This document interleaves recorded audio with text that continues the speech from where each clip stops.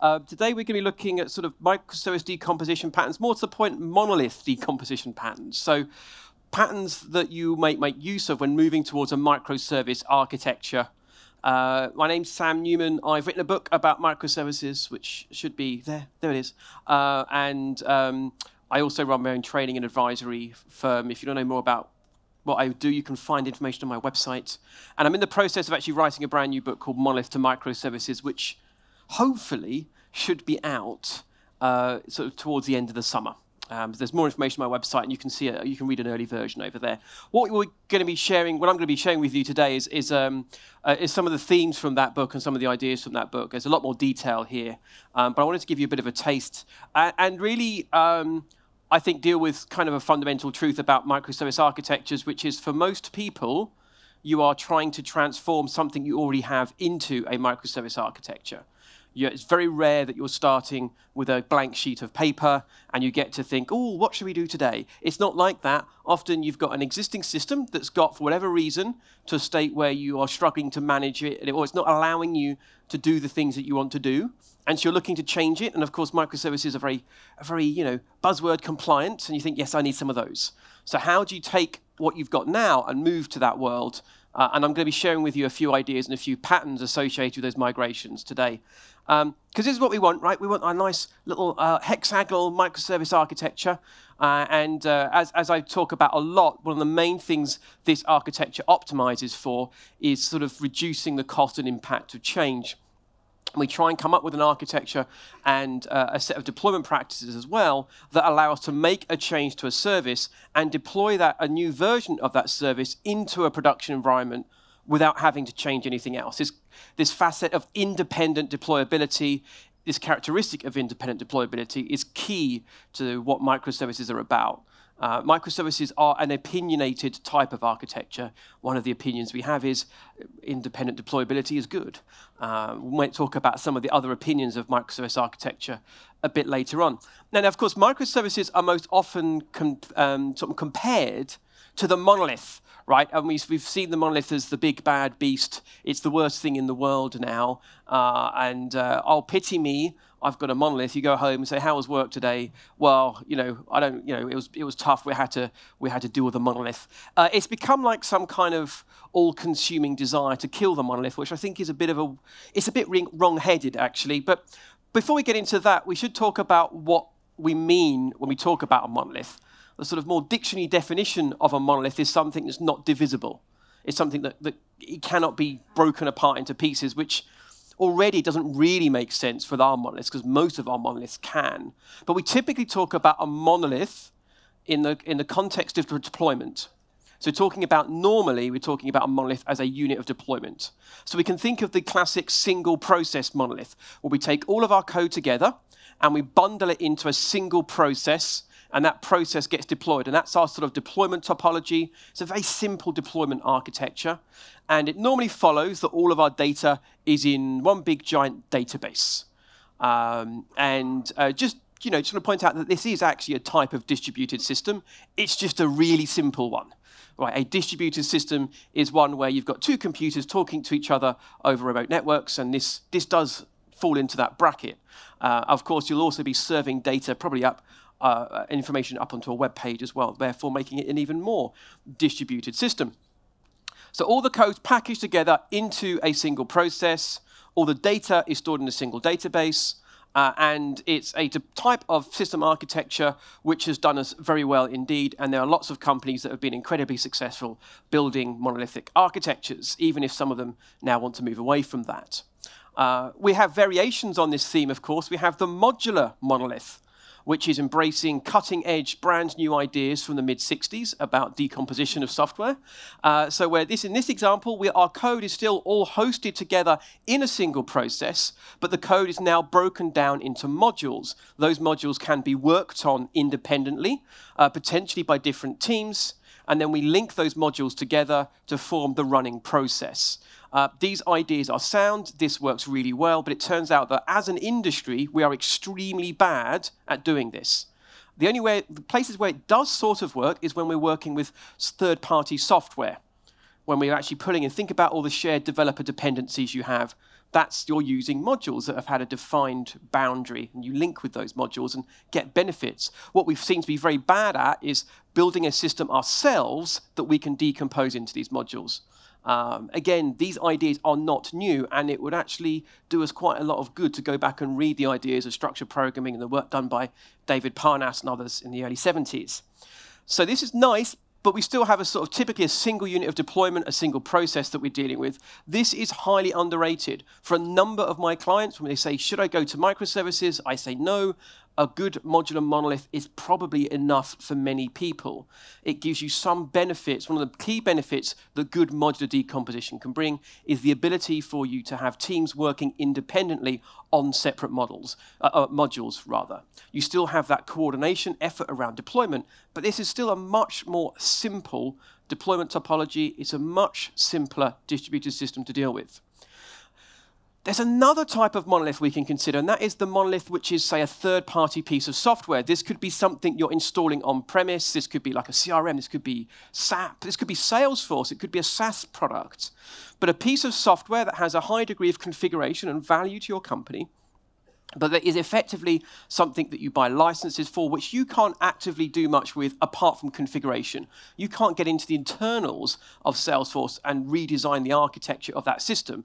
You're sort of beholden to the architecture and the design as laid out by the providers. So there's lots of, these are also monolithic software. And, and, and a lot of my clients are actively building their own software to migrate away from these existing systems. And the challenge always is, well, how do I do an incremental migration of effectively what is somebody else's big black box that's arrived in my premises? And there are some things that we can do. The challenge with these types of systems is you typically have much less control or ability to change the underlying system. Uh, uh, some of the techniques we'll talk about a bit later on do require you to have some degree of ability to change the system. There are, though, some things that we can do in these types of situations because most of the time, a lot of these systems will actually expose a database directly, which gives you some ability to do some really dirty things if you want to, which can be very useful. And they often nowadays as well also expose an API, which opens them up for some kind of migration techniques, things like the strangler fig pattern, which we'll discuss a bit later on. So there are definitely things that we can do with the third-party monolith, the sort of COTS product, although it's fair to say that you will have more limitations placed upon you in these situations we kind of have the fourth type of monolith that we need to talk about today, and it's, it's one I suspect many of you have. And in fact, many of the people that claim to have microservice architecture, this is actually what they've got. And that, my friends, is a thing called the distributed monolith, which on the face of it seems like an odd thing to say. A monolith is a single thing, but you're saying it's distributed, so how can it be a monolith? Remember, we talk about a monolith as being something that's non divisible, hard to break apart. A distributed monolith is a distributed system that is so coupled together that you cannot deploy pieces of it independently, and in in, you, what you actually tend to do is deploy the whole thing together. There can be a number of reasons why you might have um, a, a, a, distributed monolith. A lot of them have their roots in the, the, the, same problems that people have building modular software still crop up when building these kinds of architectures. If you get your module boundaries wrong, if you don't adhere to the ideas of things like information hiding, you can end up with very coupled architecture. You'll see the symptoms of this where you start doing things like trying to roll out very small changes in functionality and finding that those changes in functionality always require changes of lots of parts of your system. Every now and then, even with the microservice architecture, you might have some cross-cutting changes required. But when that becomes the norm, you start moving into a world of having complexity about how you deploy your software. The cost of deploying software drastically increases.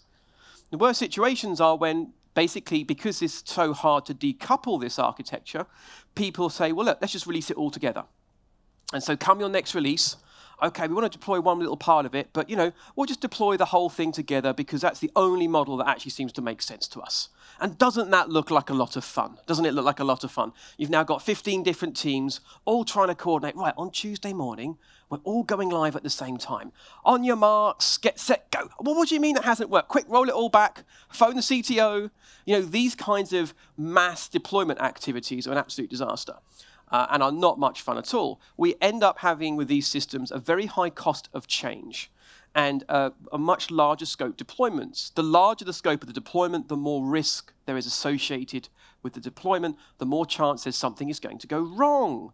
So this is not good, right? A microservice architecture fundamentally is all about trying to make it easier for us to release software, and distributed monoliths, they might achieve other things for us, but we have a higher cost of change with a distributed monolith than we would with a single process monolith. Um, and so you may end up with sort of the worst of both worlds. This, this, lovely release coordination activity. Sometimes this comes about because of uh, a lack of, uh, or not getting your service boundaries in the right place. We'll talk about how you do that in a moment. It can often come about because of sort of release practices. So some of you may have heard of a release practice called the release train, which sounds like an exciting form of transportation. Who wouldn't want to have a ride on the release train?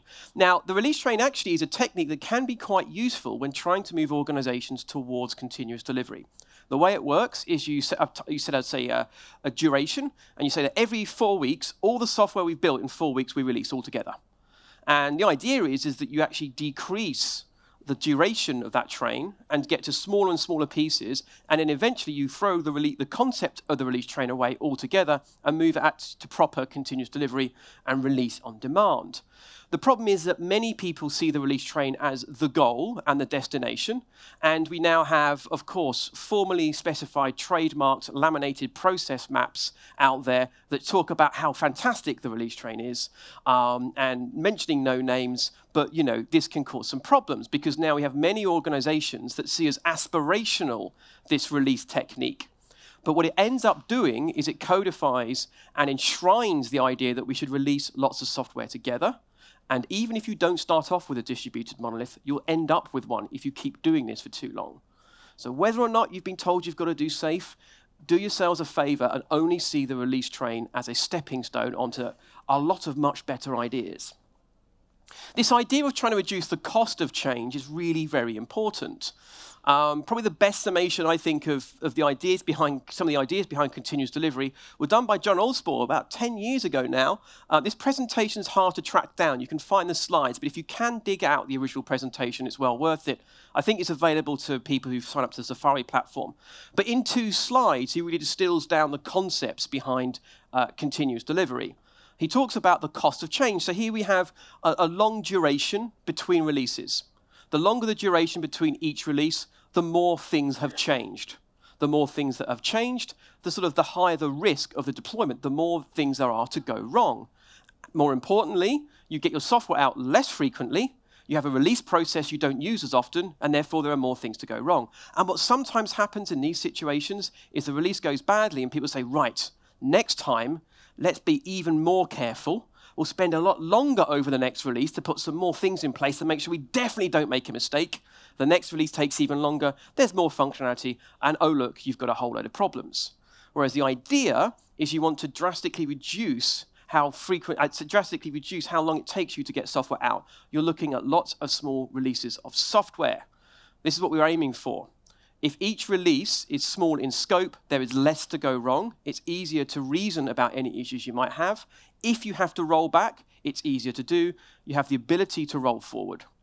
Uh, if any of you have seen the Accelerate State of DevOps report, and I definitely urge you to, to read that, it shows very clearly that the most high-performing IT teams in the world, they release software more frequently than anybody else, and they have lower defect rates. There used to be this idea that you either go fast and break stuff or go slow and steady. That's not true. All the evidence now shows us that is not true. Organizations which release really frequently have lower defect rates than organizations that release infrequently. So just work out which side of the equation that you want to be on, because you can have your cake and eat it, it turns out. So if you are in a situation where you've got a release train, try and move away from that. See it as a transitory stepping stone towards better mechanisms for deploying your software. If you're stuck with a release train because of your architecture or your organizational structure, fix those things. But do not see this as a destination, because even if you end up with, you start with a lovely, beautiful, well-factored architecture, it won't stay that way for long.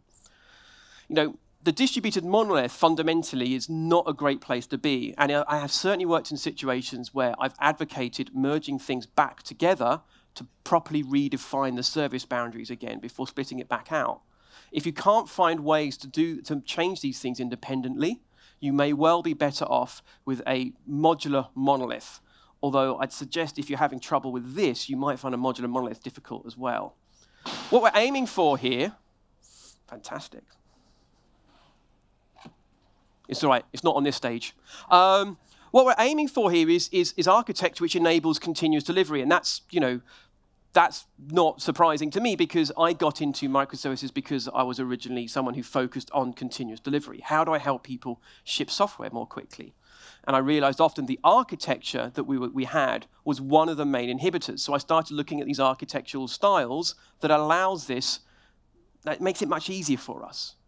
Uh, a lot of this is about uh, is organizational aspects of this, but there's architectural aspects as well. Making this sort of stuff possible, it, it's not trivial work, but it is worth doing. When it comes to breaking down the monolith, though, we've got to think about what we're breaking it down into, and this is where domain-driven design comes into play. So I, I, you know, this is something I think gets understated. There's too much fixation on the technology side of this. There's too many people talking about Kubernetes and service meshes, and, and those things are great and useful, but are really fairly uninteresting if you fundamentally get your logical architecture wrong. Domain-driven design ends up being incredibly useful to us here. Microservices are modeled around business domain. We're looking for high cohesion of business-related functionality. And the reason we want that is because we want to reduce the cost of change. If my business functionality is smeared all over my system, a simple change in functionality may require changes across multiple services. Then I'm back into a world of lots of release coordination and potentially a slippery slide into a distributed monolith. So what we're looking for are ways to, to group our system logically into components which have high cohesion of business functionality, and domain-driven design is a great way of doing this.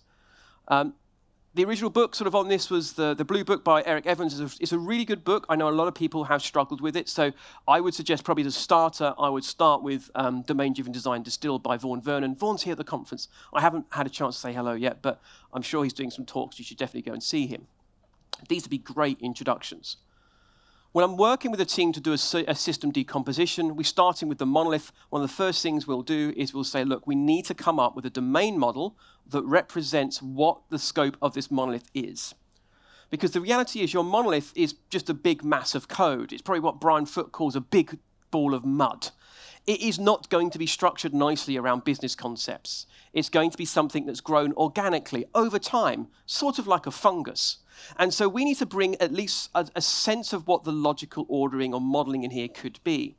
And so carrying out a domain modeling exercise says, okay, if we think about how people use this system and the mental models they have and the business processes we're operating, we can come up with a domain model. Now that domain model may not match how the code is organized, but it does represent what it does.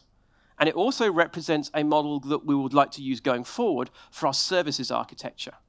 And so you start to sort of get a sense of, okay, where are the different groupings of functionality inside this monolith? Uh, and I use the, normally use a technique like event storming. And slowly what, you'll start, what will start happening is out of the ashes of this monolith, you'll start seeing, okay, well, these are kind of the groupings of functionality we've got. So in this situation here, we've got invoicing and order management and loyalty management and notifications functionality. And any good domain model will also give you a sense of how these concepts are related. And so straight away, we've got an interesting picture we're starting to build up. We have a logical representation of what our monolithic system does. Hopefully, as a directed acyclical graph of dependencies. If it's not a directed acyclical graph of dependencies, you have an issue because circular dependencies are kind of tricky to implement. Um, so uh, yeah, we start to, already we're getting useful information. Because one of the big things we've got to think about is where do we start our decomposition journey? We've got this big monolithic system, and monoliths do not start, you know, on day one. They take years to grow, nurturing, huge amounts of investment. You're not going to kill this thing in a week, even if that was your goal. It's going to be a multi-year journey. So you start thinking about, well, how can we bake, bite off the first piece? This logical model is already giving you some information that makes it easier to reason about where you might want to start. So I look at this and think, well, look, wouldn't it be great if we extracted the notifications functionality? But you realize that looking at your logical domain model, that that is likely to be quite difficult because it's such a core domain concept inside your system. Therefore, it's likely to be a problem to extract from a code point of view. Lots of parts of your system are going to need to use that notifications functionality. So if you want to extract that and rip that from the still beating heart of your mainframe, it's likely to have be a lot of work because you're going to have all of these inbound dependencies that are going to have to be rerouted. Instead, you can start thinking about things further up in the stack that might be less enmeshed in the center of your system and may be easier to extract. So this is quite a useful exercise, and then you should follow this up by actually looking at what the code's telling you.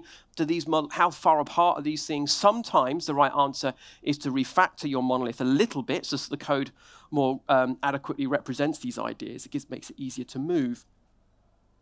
Um, the challenge, of course, with this is that we can approach this purely from a technical point of view and sort of exclude all understanding or context of our business. Because here's the thing monoliths are not inherently bad microservices aren't inherently good, and the goal is not to have microservices, right? That, who cares about that? You don't become successful because you have microservices. Your customers do not care, right, about microservices. They are a microservice architecture is something you might choose to adopt because it's going to help you fix some problems that your current architecture can't fit, fix, right? You're trying to use a microservice architecture to achieve something else it might be faster time to market. It might be to handle scale better. It might be to improve the robustness of your application. It might be to allow more people to work side by side without getting in each other's ways. Those are the goals. A microservice architecture is just a means to an end. And there are other means to that end as well so the, the thing you're trying to achieve, the goal you're looking for, will also factor into how you think about prioritizing that decomposition. Because on the one hand, we can think, okay, what is the, what's the easy stuff for us to drag out of this system? But you've got to balance that and trade that off against those things you're actually trying to achieve. For example, I might find a piece of functionality that pops out really nicely as a lovely, well-factored service, but it's a piece of code that hasn't changed in the last 10 years, and it just works. And if my goal is to ship software more quickly, why am I spending my time extracting functionality which we haven't changed for ages and have no plans to change? So straight away, you've got to bring that thinking in as well. What you normally end up with is a bit of a trade-off, certainly initially, because initially you do want some quick wins. You want to get a couple of services extracted, get those things into production, start learning from those experiences as quickly as possible, because um, that's just how we do things, right? And you want a nice quick win. Um, you want to get confidence because as you do this, you'll get better at this process. You'll work out the skills, technology, and techniques that work in your context. So you want to adopt a sort of an incremental approach to this journey. So you end up sort of trading these things off. On the one hand, you've got how easy is it to, to extract this piece of functionality into a microservice? And you're trading that off against the benefits of decomposition. And that's what we're trying to deal with. I also want to just pause for a moment and, and, and, and just reiterate a point I made earlier. The monolith has sort of become this, this sort of replacement word for a legacy system. Uh, and so that people are just assuming that monoliths are inherently bad systems. Right, the monolith fundamentally isn't the enemy. Your goal is rarely, if ever, to kill the monolith in these situations all it is, is if the monolithic architecture you have right now isn't working for you, you're looking to change it enough so it does. The vast majority of monolith migrations I've seen involve taking out a small portion of the functionality from the monolith. It's the functionality you care about the most for whatever reason. And quite often the monolith continues to live, it's just doing less stuff than it did before.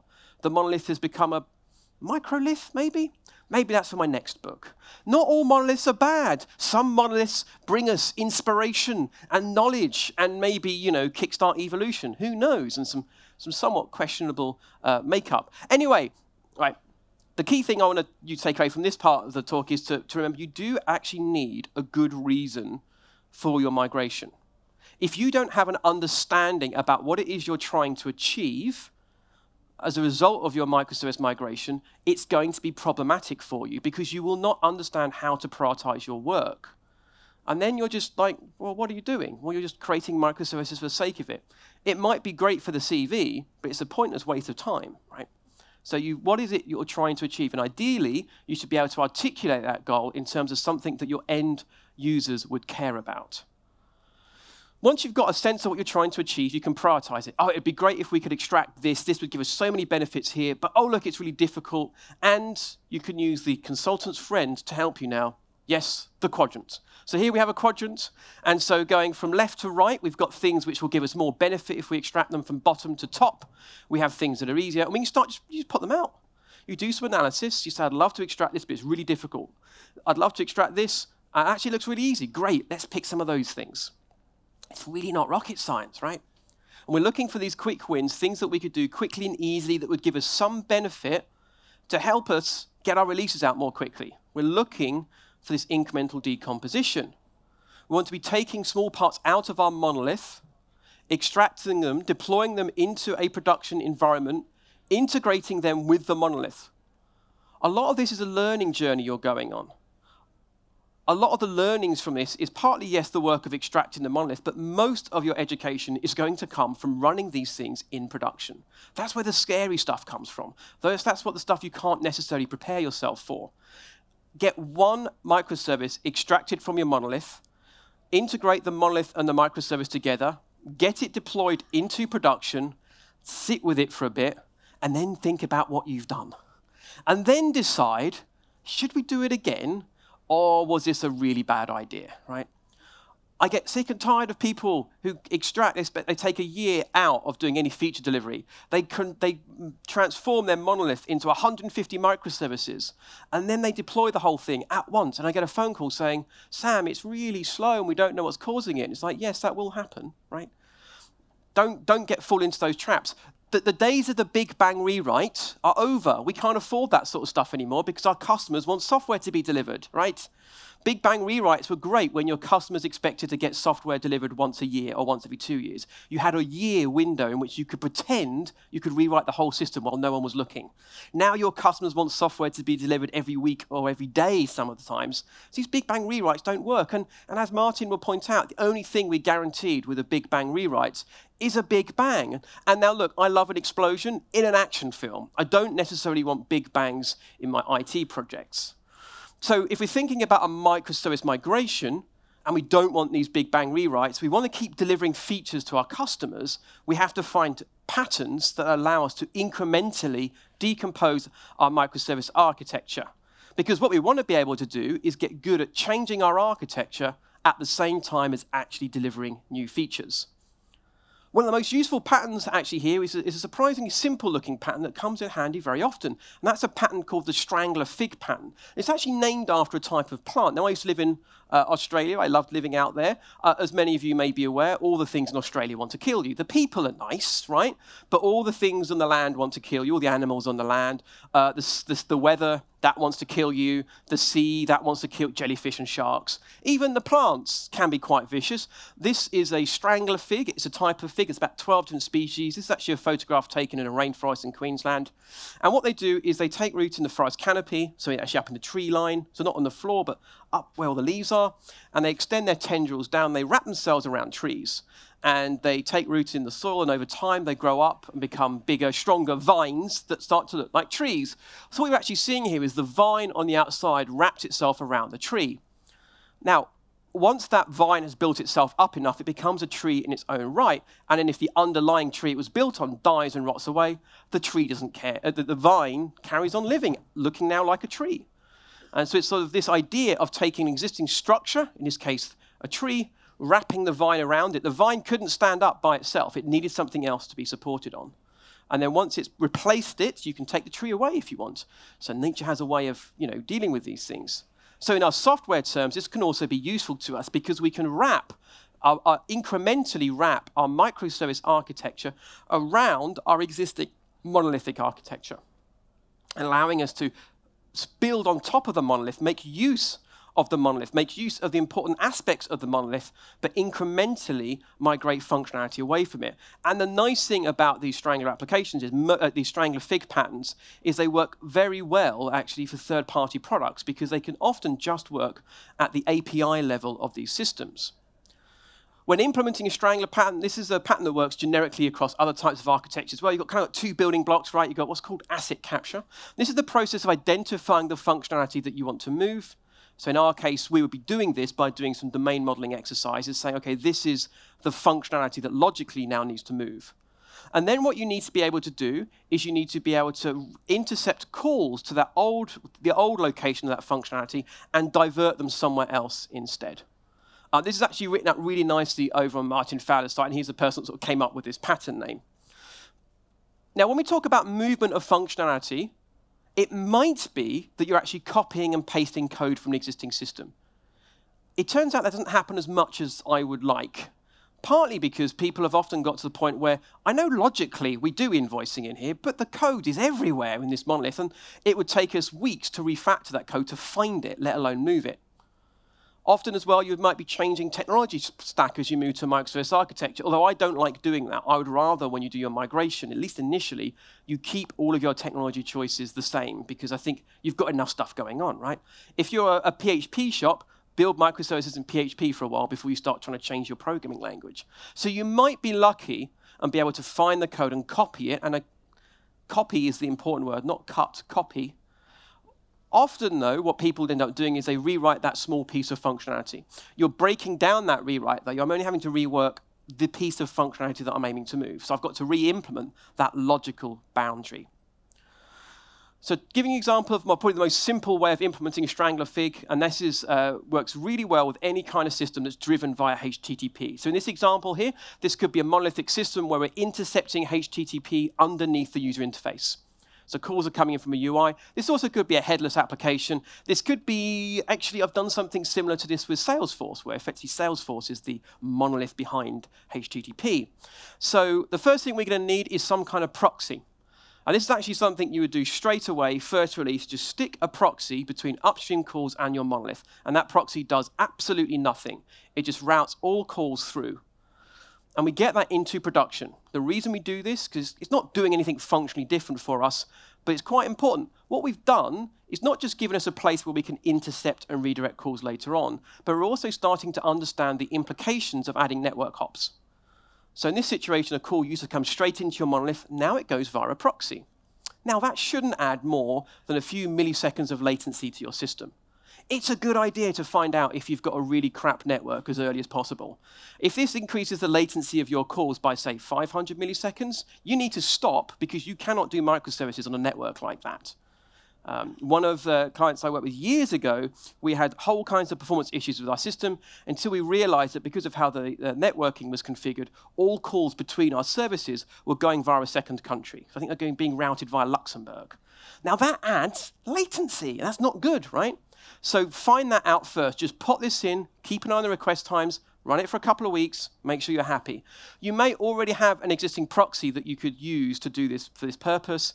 It will just depend on who's in control of that proxy. You might want to put your own in so you've got control over what's happening. Next, you start building your service. You can start implementing your service. You can be deploying your brand new microservice into a production environment. You can be testing it in situ, and it is safe to do so because right now, no one's calling it. The calls to that functionality are still being served by the monolith. When you're confident that your new service is ready, you just change the proxy configuration to rewrite the call that was going to your monolithic system, and you route that instead over to your brand new microservice architecture. So this could just be a straightforward proxy configuration. You could get fancy and do this with some kind of release flag system, although there's a lot to be said with just you know an entry in an Nginx file.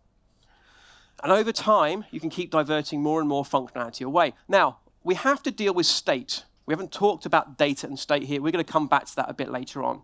Um, but I have used this multiple times to great effect, not just for microservice migrations, but also for monolith migrations as well. An old colleague of mine, Paul Hammant, actually has done a nice write-up of different applications of the Strangler, uh, Strangler fig pattern um, from a number of different projects if you want to get an overview of where it can be used. Again, one thing I do want to point out here, though, is although the implication of that picture you can see there on Paul's post is that the goal is to kill the monolith, in my experience, it's extremely rare that that is actually the business goal unless you've really got a burning platform, like this is a mainframe system and all the people that know how to code in it are dead, right? Normally, you're just moving enough stuff away until there's a reason to come back and do the rest. The nice thing about these Strangler figs uh, pattern usage is it allows you to stop at any stage in that migration. This is also the problem with a big bang rewrite. You're nine months into finishing a 12 month rewrite, and suddenly your budget gets pulled we haven't released anything. You've got nine months of just value gone away. But here, if you stop a third of the way in, you've got a third of the value released and deployed, which is really valuable. So the Strangler fig works really well when you've got stuff sort of up, up in the top of your call stack. Let's see if this is going to work. Yeah, so up here, right? So invoicing, order management, stuff like that. Those are kind of things that, if they're at the top of the call stack of your monolith, could be quite easy to grab and intercept. But what about when you've got things that are sort of deeper inside your logical stack?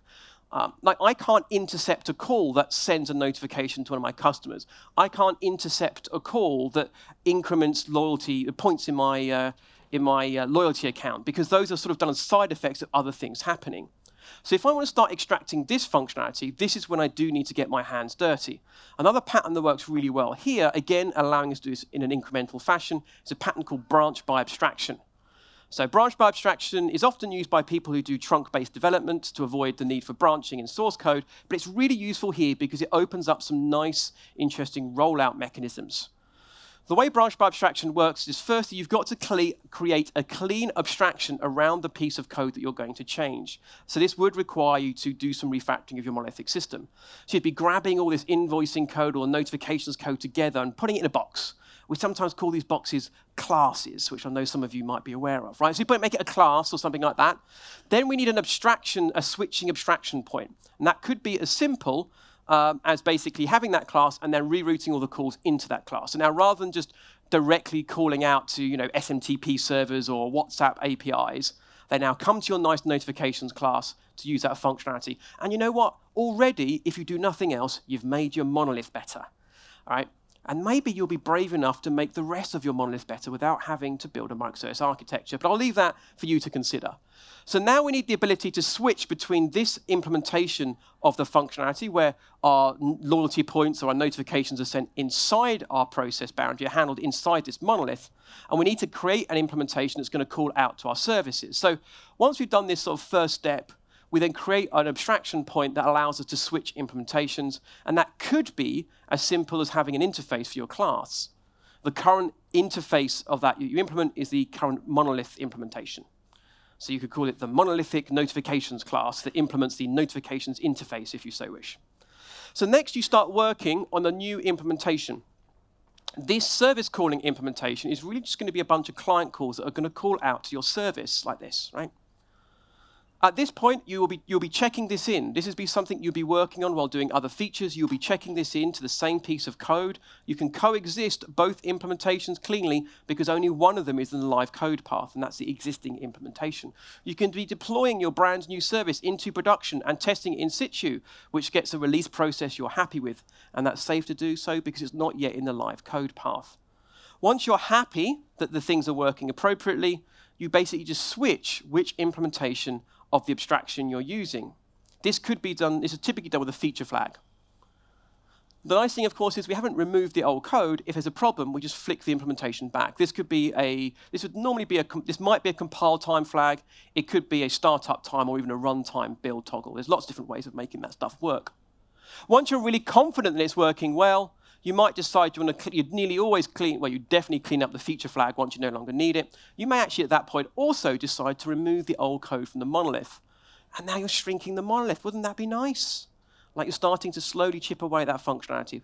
That last cleanup step is often optional. And many people just leave that code lying around. Now that process of getting code, refactoring it behind a box, creating a nice abstraction, knowing how to do that well, We've obviously got the refactoring book from Martin Fowler. The, um, the latest edition actually came out at the beginning of this year. It's well worth a read. Uh, but for this specific um, purpose, I'd also recommend probably this book by Michael Feathers, Working Effectively with Legacy Code. It's an excellent book which talks about how you basically refactor code bases that might be a bit old. Michael's definition of legacy code is code without tests, uh, which is you know, kind of valid, and I think it works quite well here. This branch by abstraction pattern, because we can coexist both implementations in the code base at the same time, aside from reducing our merge pain and the need for branches, it also opens up patterns like a parallel run. So with a parallel run pattern, I can execute both implementations in production at the same time. So whenever a call comes in, I send that call to both the existing implementation and the brand new implementation at once. Now, this would be a terrible idea if you were doing this for sending emails, because you do not want to send emails twice. But this can work quite well as a comparison mechanism. The same calls coming in, both pieces of functionality are being executed and you can validate are they coming up with the same answers? Because this is a true refactoring. We're not trying to change the functionality of the software so we should get the same answers. I've used this for calculations before uh, in sort of an, uh, an investment bank where we would run all of our pricing for these certain financial trades in parallel. And at the end of each day, we'd have an Excel sheet that came out with any discrepancies. And then we'd go back and check why were those numbers different. Sometimes we found we'd accidentally fixed bugs. And sometimes our client made us put the bugs back in our new system. But, you know, what can you do? Uh, I spoke to a, um, a real estate company up in Switzerland uh, called Homegate, and they actually did effectively a parallel run like this for their um, for the listing upload system from their real estate agents. So they'd actually run both systems in parallel. With, when you've got both implementations coexisted inside the same runtime, you open up some really interesting possibilities like this to validate that your software is working correctly. And you can even also use it to do quite fine-grained canary rollouts as well inside that monolithic stack. We haven't talked about data and state much. Um, we have to think about that because, well, you know, in this situation, I've, I've taken my our invoicing code, I've ripped that out of the monolith, um, but unfortunately, my invoicing service actually needs to access data to do its job. And right now, of course, all the data lives in the monolith, and specifically in the monolithic database. So we've got to think, well, how do I get hold of my data? So, well, one option is just, just, just, just go get the data, right? Just go get it. Just directly access the monolith database. Now, I'm, I'm going to assume you're all grown-ups here. Um, this is not a good idea as a long-term strategy. If you're doing it for a couple of weeks or a few weeks before completing the migration, fine. But be honest with yourselves. Because if you leave this in place, you'll end up with a distributed monolith. The fastest way to get a distributed monolith is to have lots of services all talking to the same database because it creates huge amounts of coupling, of implementation coupling. Okay? So this is only something I would countenance doing for a very short period of time. Your microservice migration of this invoicing service is not complete if you've got this line in the mix. The reason for this is we like to think about our microservices as being black boxes. The focus is on end-to-end -end slices of business functionality. That means we need to include the data storage. We don't want outside parties reaching straight into our database because it becomes impossible for us to separate what is shared from what is hidden we now have external parties coupled to our imp internal implementation detail. This is why you start getting into the problems where I make a change here and it breaks someone here. Leslie Lamport says a distributed system is one where a computer I never heard of stops my computer from, from working. And this is a fantastic way of doing this. Have all of your services talk to a database, then go and rename a column and see what happens. Um, and guess what? You'll only find out in production. Uh, so instead, we want to think about services if they want information from you that you hold, they come and ask you for that information via well-defined service interfaces. That allows you to decide what is shared or what is hidden. It also makes it obvious to you as to who your consumers actually are. So none of this backdoor access of databases, get rid of that, you'll thank me later. And this really, again, is a cutting-edge idea called information hiding that only comes from 1970. Um, so in this situation, invoicing needs some data, so we've got to think about what is the data that invoicing needs. If the data that I need is data that's really still owned by the monolith, so if you think about it from our domain model point of view, um, my invoicing service needs to get information about orders. But orders are still logically managed by the monolith. Invoicing doesn't manage orders. Therefore, it's appropriate for me to go and ask the monolith for the information I want. And so what I need to do is expose some kind of service interface on the monolith itself. In this situation, I've exposed an API, but this could be an event bus or some other projection. So I'm going to go and ask the monolith, please, can I have some the information I like? And now I'm accessing the database indirectly, and I'm also starting to define a new API here, which could be the sign of another microservice that might want to emerge later on.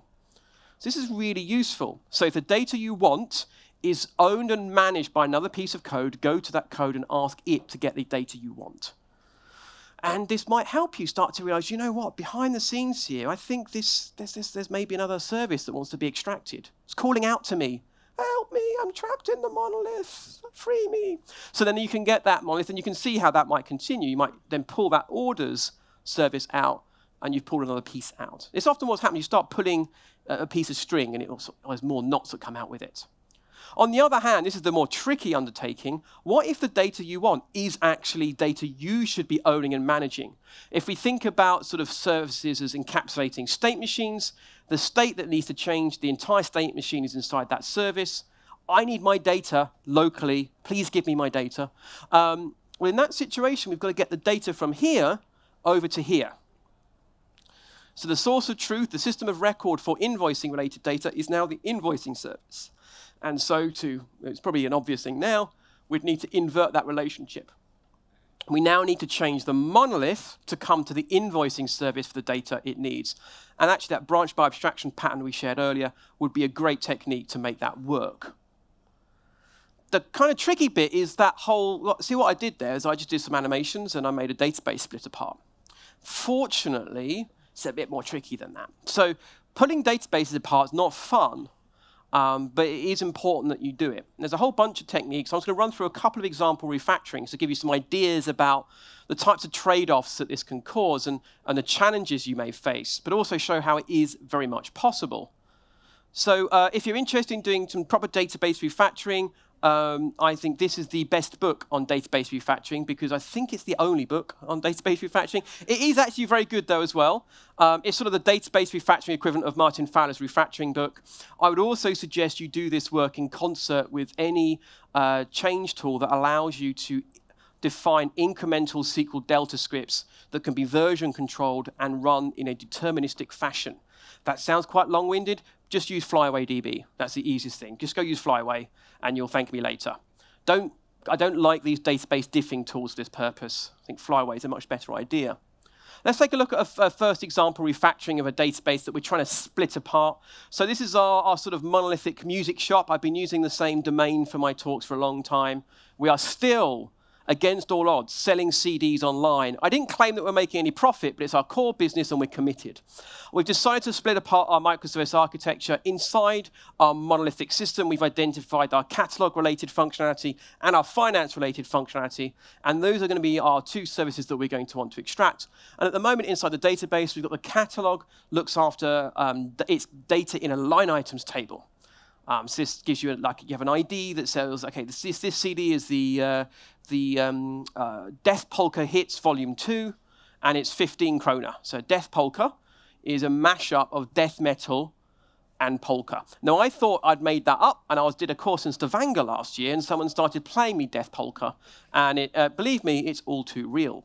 So uh, Death Polka, the greatest hits of Death Polka, Volume Two, um, and then we've got the ledger uh, which is where we store our financial transactions. And this is obviously data that the finance code cares greatly about. One of the things that we do is we generate a top 10 list of our best-selling CDs. And the easiest way for us to do this is to effectively do a select where we uh, look at all the records in the ledger for the last week, group them by the ID of the item that's been sold, do a count, sort by that count, we get your top 10 list. Now, if we did that just on the ledger table, we'd come back with just a whole load of IDs. We don't want 10 IDs, we want actually the name of the albums that we've sold. So we would do a join operation. We would join those IDs against the line items table. Might use an ID or something called a SKU, so stock keeping unit. Now, of course, if we're going to make catalog and finance two separate services, this join operation is a problem because these will become two different databases as well. So we have to sever that join. That can't exist. Instead, what we're going to do is move the join up into the application tier. So this is obviously going to have some issues, right? So what we're going to end up with is something that looks a bit like this. So now we've gone from doing one database call and a join done in the database. We're now doing two database round trips, an extra network hop in between, and the join operation is being done in the application tier. I do not mean to offend any of you but I suggest that you will not be able to implement a join operation as effectively and efficiently as people who have been building databases like this for the last 40 years. Right? They've got a lot of expertise in doing effective and efficient joins. So this is almost certainly going to have increased latency. That might not necessarily be an issue. When you split databases apart, often you can make systems faster because you can remove uh, um, sort of bottlenecks and allow for parallel processing. But if you split databases apart and you're joining across that data, this will have an impact. Now, in our case, a top 10 list that we update once a week, who cares? It's not an issue. but it might be. So you've got to think about that when you're looking to decompose your um, database. There's more to think about, of course. When we look inside our monolithic schema, here's our ledger. We have a row, we have a SKU column. That's a foreign key relationship. And that foreign key relationship points to the line items table. Foreign key relationships in a relational database improve the performance of joins because it, it basically tells the database, that these things are connected. You can carry out, uh, you can generate things like secondary indices to make these operations faster. But it also typically will give us referential integrity. It will ensure that we can't delete row 1, 2, 3 here from the line items table, because if we do, it will say, if you try to, it will say, hang on, you can't, that's going to violate referential integrity. So we use our database as a safety net to look for data inconsistency. It's worth reflecting, of course, that when we do that, we don't rely on the database. We normally have our application also stop you from doing these things. The database is just there to make sure you don't do it. Now, of course, when we go to two separate schemas, we have nothing that's going to enforce our referential integrity. So we've also got to ask the question, well, what is our foreign key? Now, in this example here, I've changed the foreign key to a non-opaque URI, which some people might like to do if they're building a REST-based system. So I've replaced that foreign key with actually a HTTP resource that you could directly dereference. Now, I don't know any, uh, anyone that does this. I wouldn't do it probably myself. The reasons, there's a number of reasons. Firstly, splitting databases apart is scary enough without also changing your, you know, rewriting foreign key relationships in a database. Secondly, people are always worried, what if I change how I look up entries in the catalog? Thirdly, in this situation, I don't want to look up one item when I go from the finance service over to the catalog service. I'm going to want to look up 10. So does this mean I'm making 10 separate HTTP round trips? I probably wouldn't do that. I want to make one call and pass all the IDs in. So normally people would just leave this as saying one, two, three. So that then means the finance service now needs to know that when it sees one, two, three coming out that SKU column, if it wants to get that, the uh, related resource, it's going to have to go and fetch that from somewhere or have that read in from somewhere else. So that's, that's smarts that are now going to have to be up in your application. The other thing, of course, is there's nothing here stopping us introducing inconsistency in our data. So we have some options. Option number one, don't bother. Just, just let people delete stuff in the catalog. Worst case scenario, your top 10 list says, I don't know what this is, but you might have to change your code, right? So, you know, our bestseller this week was ID 124, but someone deleted the record in the database. It's probably not great. Option number two would be to maybe uh, implement a cascading delete. So what some people suggest, do, a, do use events and do a cascading delete. So I delete a record from the catalog, I fire an event. And the event gets picked up by the finance service, and I use that to delete records in my financial ledger. If you want to go to prison really quickly, that's a great option. Don't do that. Events code could be useful in a deletion case. If I delete a row from the catalog table, I might fire an event and say this item has been deleted. My finance service could receive that event and say, ah, oh, okay, it's been deleted. We're going to take that data and store that locally as a historic memory of what that entry looked like. So you could use that to solve the problem in a different way. The really bad option here is before you delete something from the catalog, check if anyone else is using it. That's a nightmare because it effectively is an explicit reverse dependency on every single service that depends on you.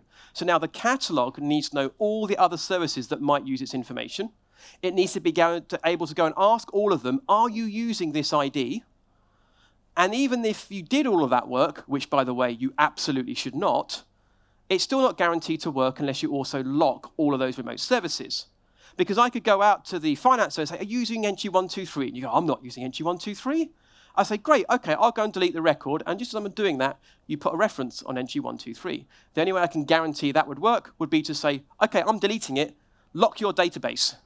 I'm going to do my deletion, now unlock your database. Doesn't that sound like fun? Just say no, right? In this situation, I would probably just not allow deletion, do a shadow delete, solve your problems. The key thing here is, from a technologist point of view, we can come up with five or six ways to solve that problem. All of them have a business impact. They have impact the way the system is used. They impact the users of the system. And so you would have to have a conversation with, with your people who use the system to ask them what the right answer is. Now, if this is the first time they've heard about you building a microservice architecture and making changes, they're going to go, no, no, just don't allow that case. But I've got to. Why?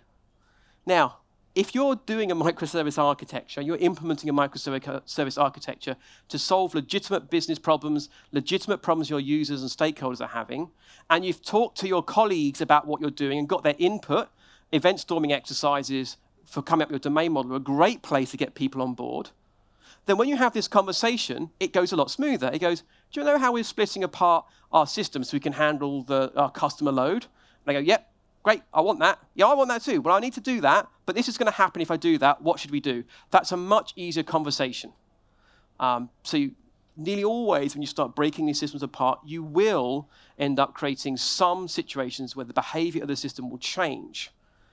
And you can talk about the trade offs from a technological point of view, but you're going to need to get input from the people who use the system to understand what the right thing to do is. Let's look at another, uh, one last example. I'll skip over the, the static reference data one. Going to give time for some questions. Let's take a look at another one that looks on the face of it to be quite a simple uh, decomposition. So we have here our monolithic system. We've got our catalog code and our warehouse code. This is the much earlier version of our architecture, very simple, basic database. And each row in the database looks like this.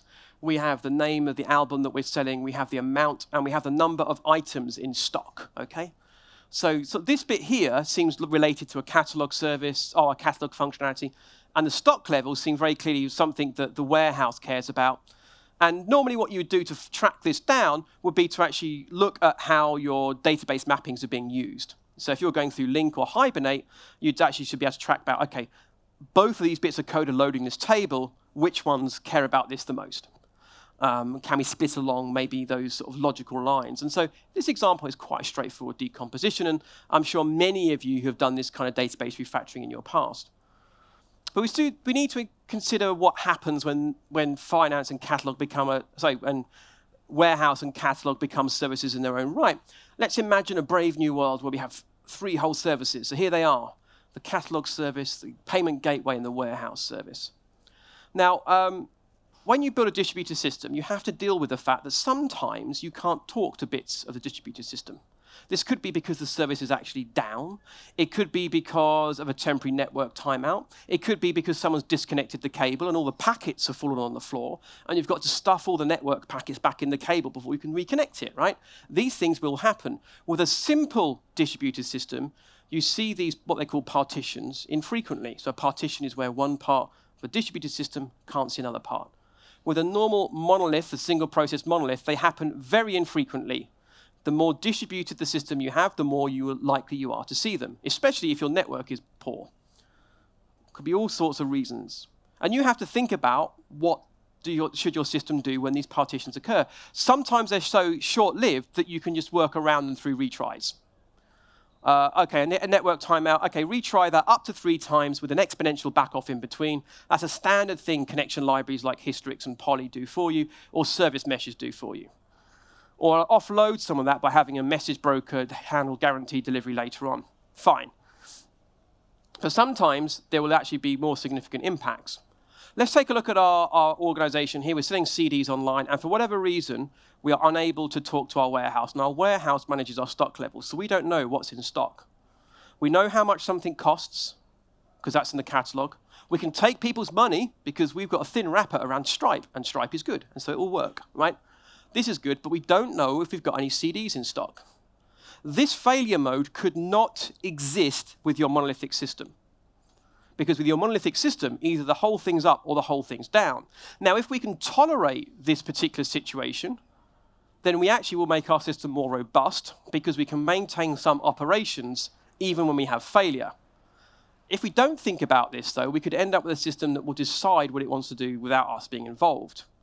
Here's the question, though, I'm going to ask all of you. In this situation, we know how much something costs, but we don't know if it's in stock. But we can take people's money Put your hands up. Should we keep selling CDs? Put your hands up. You capitalist, but right, okay. Hands up if we shouldn't sell CDs. You naive fools. Right. Um, e-commerce companies they keep selling their CDs in this situation. The reasons actually are quite straightforward. They're business reasons. If I sell you a CD and take your money, and then find out I don't have the CD, I go sorry. I offer to give you your money back or optionally back order the CD. On the other hand, if I don't sell CDs at all, no one's happy. I'm not making any money. I can't sell the CDs I do actually have. And guess what? My customers are annoyed they can't buy the CD and they'll go buy it somewhere else anyway and they won't come back. So that's why CD companies make that switch. Change the business domain, we're selling concert tickets. You get a very different answer. I think I've got tickets to see a hidden uh, Metallica gig. They're playing in a small club around the corner next week. My friends are flying over from Stavanger and Trondheim. We're going to have a great party. Oh, sorry, you don't really have any tickets. Ah! The amount of pain and suffering to your customer in that situation is dis distinctly different. You can't back order a ticket for an event. So normally ticket companies in this situation will shut them down because they know you'll come back. Why? Because they're the only ones with the tickets, right? So different business contexts, you make a different choice. This actually, this trade-off is actually based on something called CAP theory. This is as much CAP theory as you ever need to know. CAP theory basically says that when you have a partition, you have to trade off between consistency and availability. When we take the money, we're saying it's more important that we maintain the ability to sell CDs. The availability of that operation is more important than having a consistent view of our data. When we don't take the money, we're saying consistency of our system is more important to us than availability of that operation. This is as much CAP theory as you ever need to know. If someone ever tells you you can beat CAP theory, you can't. Don't worry about it. It's just a common sense trade-off. But again, you're going to have to take your customers on that journey with you. We are over time. I apologize for that. I'm going to happy to hang around for questions after we go off to the side. But thank you so much for your time. If you want to see more uh, stuff, there'll be the slides will be up on my website later today, and more information about the new book is there. Thank you.